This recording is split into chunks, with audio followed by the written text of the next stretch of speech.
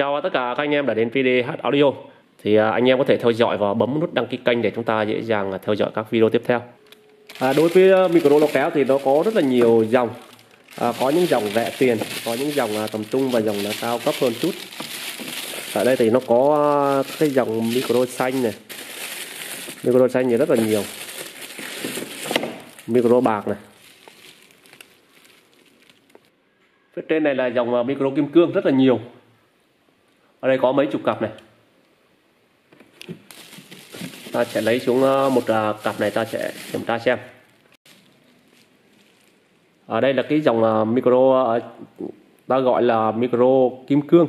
Vì thiết kế ống ánh theo dạng như kim cương thế này, ta cứ gọi như vậy là dễ nhớ nhất.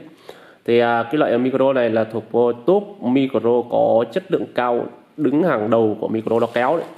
Cho nên là anh em mà khi mua cái loại mic này đấy nó khác với một số cái dòng xua. Dòng xua được cái nó thiết kế là nhôm của nó dày cho nên nó nặng.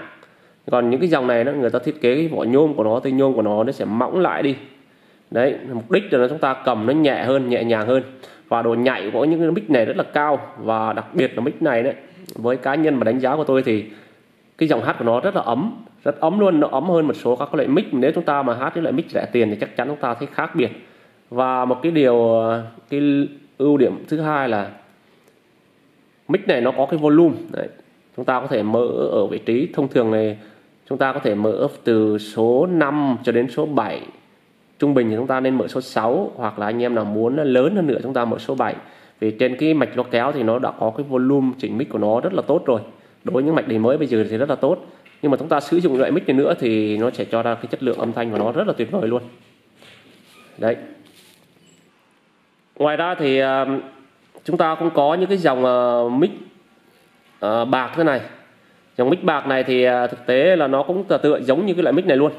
Đấy, nhưng mà cái thân của nó là thân màu bạc còn thân này là thân loại này. Rồi uh, video này thì uh, tôi xin phép tạm dừng tới đây. À, anh em nào mà đặt hàng ấy thì chúng ta có thể vào trên uh, website Shopee. Tôi sẽ đặt một cái đường link ở phía dưới. Còn uh, những anh em mà mua ngoài thì giá nó sẽ cao hơn đôi chút. Đấy còn những anh em mà mua trên Shopee thì nó có một cái giá ưu đại hơn.